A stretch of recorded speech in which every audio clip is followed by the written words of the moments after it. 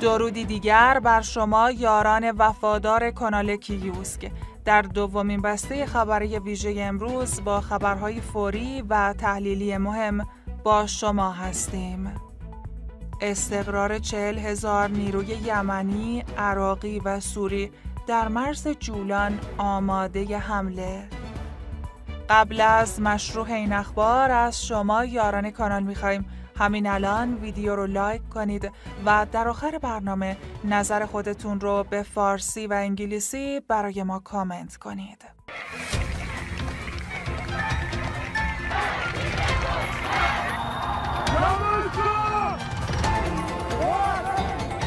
من از همه شما هموطنان عزیزم می‌خواهم تا به ایران فکر کنیم استقرار چهل هزار نیروی یمنی، عراقی و سوری در مرز جولان آماده حمله. بنا به اعلام خبرنگار الجزیره از شب گذشته جمهوری اسلامی چهل هزار نیرو از یمن، سوریه و عراق در نزدیکی مرز اسرائیل در جولان جمع کرده تا با دستور حسن نصرالله وارد جنگ شوند. بر اساس اطلاعات اختصاصی سپاه پاسداران از ده روز پیش در حال برگزاری یک دوره آموزشی گسترده با نیروهای نیابتی فلسطینی و یمنی در پایگاهی در 110 کیلومتری جنوب شرقی تهران نزدیک ورامین است.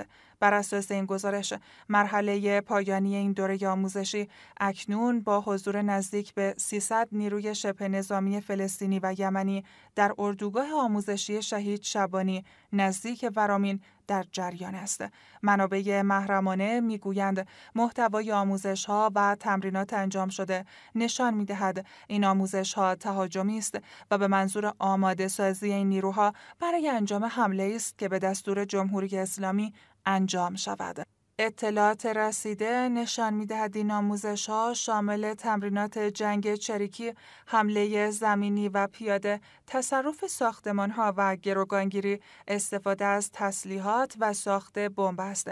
این در حالی است که مسعود پزشکیان دوشنبه در نیویورک در یک کنفرانس خبری گفت ما آماده ایم تمام سلاحهای خود را کنار بگذاریم به شرط آنکه اسرائیل هم سلاحهای خود را کنار بگذارد. پزشکیان خطاب به نمایندگان رسانه های آمریکایی گفت بیایید کمک کنید کاری کنیم که نجنگیم. چیزی را که می توانیم با گفتگو حل کنیم با موشک و اسلحه حل نکنیم. بیایید کمک کنیم دنیا در صلح و امنیت باشد. ما آماده ایم ما نمی خواهیم بجنگیم. بر اساس گزارش های رسانه پایگاه شهید شبانی که نزدیک جاده پارک ملی کویر و بالاتر از دریاچه نمک در پارک ملی کویر واقع شده است در سالهای اخیر یکی از مراکز اصلی برگزاری دوره های آموزشی برای نیروهای نیابتی جمهوری اسلامی بوده است. منابع داخل ایران می‌گویند در این سالها دوره های آموزشی متنوعی برای ها، حزب الله لبنان، حماس و جهاد اسلامی فلسطین در پایگاه شهید شبانی برگزار شده است. بر اساس گزارش این منابع بیشتر افرادی که در این تمرینات شرکت کردند از لبنان، یمن، نوار غزه و سوریه به ایران آمدند و پس از پایان دوره آموزشی به کشورهای خود بازگشتند. در این حال شماری از این نیروها برای آموزش های پیچیده تر همچون منتاژ و استفاده از تسلیحات پیشرفته تر مدت طولانی تری در ایران میمانند. گزارش های رسانه‌ای و اطلاعاتی نشان می دهد نیروهای شبه نظامی آموزش دیده در ایران وفاداری بالایی به جمهوری اسلامی دارند و همچنان که در شعارها و تصاویر منتشر شده از این گروه ها دیده می شود علی خامنه ای را رهبر و فرمانده خود می دانند و بر اساس دستورات نیروی قدس سپاه پاسداران در منطقه فعالیت می کنند. علی خامنه ای رهبر جمهوری اسلامی ایران امروز در سالگرد جنگ ایران عراق با جمعی از نظامیانی که در این جنگ حضور داشتند دیدار کرده. خامنه ای در این سخنرانی حزب الله لبنان و نیروهای نیابتی جمهوری اسلامی را پیروز جنگ دانست. بله علی خامنه به حال بالاخره اشاره کرد که تلفات خیلی زیادی رو حزب الله لبنان در واقع متحمل شده. اما تأکید کرد که در واقع پیروز حزب الله و پیروز نهایی از آن حزب الله خواهد بود. به نظر میاد که علی خامنی بیشتر تلاش کرد که صحبت های چند روز پیش پزشکیان رو تصحیح کنه. پزشکیان همونطوری که تو خبرام گفتی عنوان کرده بود که حزب الله به تنهایی از پس اسرائیل بر نمیاد. جای دیگر عنوان کرده بود که در واقع ما خیلی خواستار جنگ نیستیم تلاش می‌کنیم که در واقع در واقع جنگی صورت نگیره. خامنه امروز تاکید کرد که اساسا این جهاد فی سبیل الله یعنی نه فقط برای اینکه باید این جنگ انجام بشه نه فقط اینکه جبهه مقاومت در واقع به اصطلاحشون پیروز خواهد شد بلکه این جنگ رو حتی لازم هم دونست. یعنی عملا علی خامنه ای همون سیاست های رو دنبال می‌کنه که تا اینجای کار در واقع پروژه رو جلو آورده از اینجا به بعد هم همین شکلی خواهد بود. به نظر میاد که تلفات حزب الله اونقدری بوده که علی خامنه ای اعتراف بکنه به اینکه خسارت ها خیلی سنگینه بخشی از فرماندهانش از بین رفتن. ولی عبارتی رو تاکید می‌کنه میگه شاکله بدنی حزب الله نیروی انسانی حزب الله ارتباطشون به حدی قوی و منسجم هست که در واقع این مرگ ها در واقع تاثیر اونها نمی‌ذاره. خیلی واضحه که داره وانمود می‌کنه که این اتفاق نیافتاده ما می‌دونیم که در واقع بدنه حزب الله دچار مشکل بسیار اساسی در نیروی انسانی شده. بخش فرماندهیش رو از دست داده.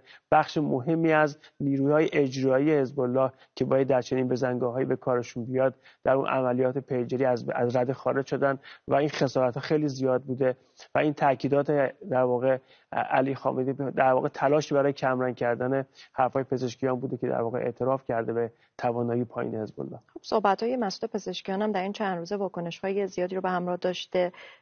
از اونها برامون بیشتر بگو. ببین مشکل همینه دیگه. مشکل جمهوری اسلامی همینه که در محافل خودشون اعتراف می‌کنن به ضعف و ناکارآمدیشون اعتراف می‌کنن که هماورده مناسب برای این جنگ نیستن. اعتراف می‌کنند که در واقع رجزخانه هایی که پیش از این کردن در واقع محلی از اعراب نداشته نمی‌تونه در واقع از پس یک جنگ واقعی بر بیاد. و یه جاهایی این شکلی یه آدمی حالا کم تجربه مثل پزشکیان اینها رو لو میده و یه دفعه همه حجمه می‌کنن که آقا این چه حرفی بود که زدی. یعنی در عین اینکه معترف هستن به اینکه توانمندیشون بسیار پایینتر از اسرائیل هست اما در واقع بخش بزرگی از این نیروهای نیابتی رو در واقع به کامک فرستادن در یک جنگی که انتهاش از همین اول مشخص جنوب لبنان داره مثل غزه تبدیل به یک ویرانه میشه.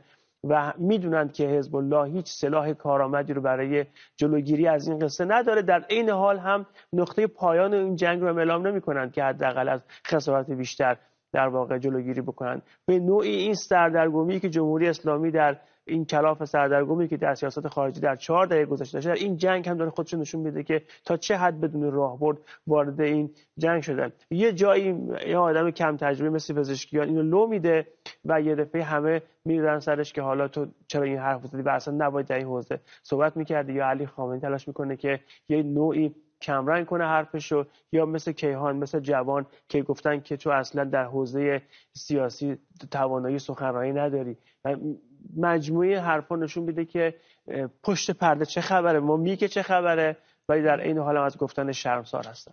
پایگاه خبری آکسیوس روز سهشنبه 24 سپتامبر برابر با سوم مهر ماه به نقل از دو مقام اسرائیلی و یک دیپلمات غربی گزارش داد. حزب الله در روزهای اخیر از جمهوری اسلامی خواسته است که به اسرائیل حمله کند اما ایران تا کنون از این کار خودداری کرده است.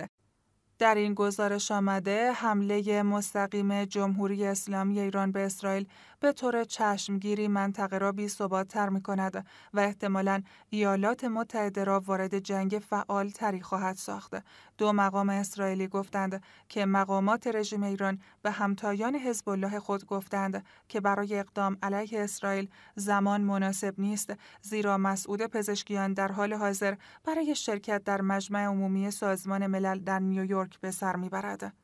پزشکیان روز دوشنبه 23 سپتامبر در نشست خبری با خبرنگاران در نیویورک اسرائیل را طرفی دانست که به دنبال جنگ گسترده تر در منطقه است و تاکید کرد که ایران نمی‌خواهد در این تله بیفتد. یک مقام ارشد اسرائیلی گفت که دستور کابینه امنیتی به نیروهای دفاعی اسرائیل اجتناب از اقداماتی است که به رژیم ایران دلیل یا بهانه‌ای برای پیوستن به جنگ می‌دهد. نمایندگی جمهوری اسلامی در سازمان ملل و سخنگوی حزب الله به درخواست آکسیوس برای اظهار نظر پاسخ ندادند. اسرائیل و حزب الله طی دو هفته گذشته به شدت درگیر نبرد بودند. شمار زیادی از فرماندهان ارشد حزب الله در این درگیری ها کشته شدند. یکی از آنها ابراهیم قبیسی فرمانده واحد موشکی حزب الله لبنان است که همراه پنج نفر دیگر روز سهشنبه در بیروت کشته شدند. بیش از یک میلیون نفر در اسرائیل از منطقه حیفا تا مرز با لبنان زیر آتش گسترده ترین حملات موشکی و پهپادی حزب الله قرار دارند. اگرچه اغلب موشکها گیری شدند اما چندین نفر در اثر اصابت آنها به مناطق مسکونی زخمی شدند. حزب الله با کشته شدن بسیاری از فرماندهان ارشد نظامی و به خطر افتادن سیستم های ارتباطی آن متحمل خسارت گسترده ای شده است. مقامات اسرائیلی گفتند که بخش بزرگی از زرادخانه موشکی این گروه را در چند روز گذشته منهدم کردند. این در حالی است که جمهوری اسلامی متحد شده ترور اسماعیل هنیه را تلافی کند. ایالات متحده و اسرائیل در آن زمان اعلام کردند که نگران این هستند که رژیم ایران یک حمله موشکی و پهبادی دیگری علیه اسرائیل انجام دهد. همزمان ساعتی پیش اولین موشک بالستیک حزب الله به خاک اسرائیل برخورد کرده. ارتش اسرائیل اعلام کرده که آژیرهای هشدار روز چهارشنبه چهارم مهر ماه در تلاویو در پی شناسایی یک موشک زمین به زمین توسط سامانه های پدافند هوایی که در حال عبور از لبنان رهگیری شده بود به صدا درآمد. هیچ گزارشی از خسارات و تلفات در پایتخت اقتصادی اسرائیل گزارش نشده است و ارتش گفته است که هیچ تغییری در دستورالعملهای دفاع غیرنظامی برای مرکز این کشور ایجاد نشده است. آژیرهای هشدار در دیگر مناطق مرکزی اسرائیل از جمله شهر نتانیا نیز به صدا درآمد. یاران و همراهان عزیز و گرانقدر به پایان این برنامه خبری تحلیلی رسیدیم. روز و روزگار بر همگی خوش پاینده ایران